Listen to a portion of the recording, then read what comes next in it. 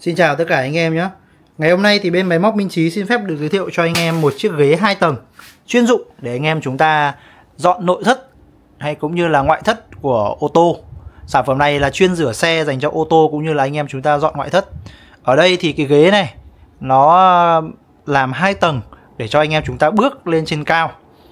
Cái ờ, từ dưới chân ờ, từ dưới chân ờ, chân lên trên cái bước đầu tiên, nó là 30 phân và từ cái ờ, từ cái bước đầu tiên lên bước thứ hai đó là 35 phân. Như vậy là tổng là 65 phân từ dưới đất tính lên. Anh em nhé.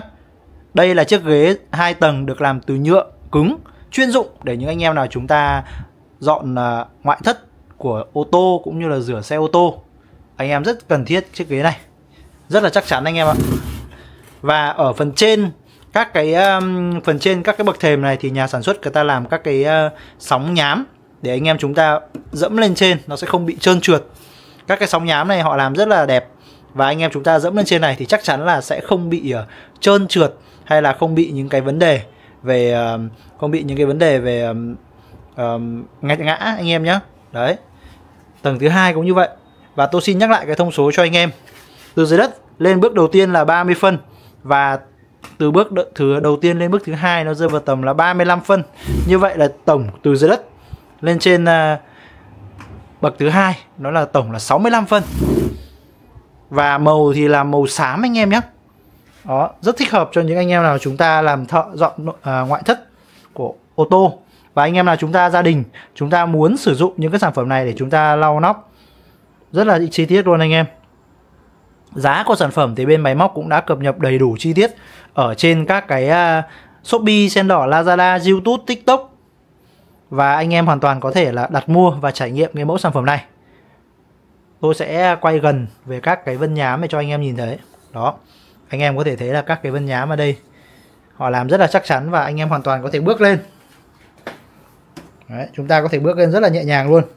Không hề xê dịch đây là một trong số những cái sản phẩm mà bên máy móc Minh Trí bán rất là chạy thì anh em nào chúng ta cần các bạn có thể liên hệ nhé cảm ơn anh em đã xem video và hẹn gặp lại anh em ở trong những cái video giới thiệu sản phẩm tiếp theo. Xin chào và hẹn gặp lại.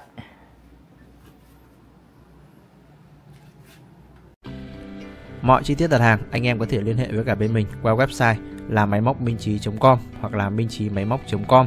Các cái trang thương mại điện tử như là Shopee, Sen đỏ, Lazada, fanpage cũng như là YouTube của bên mình là máy móc minh trí.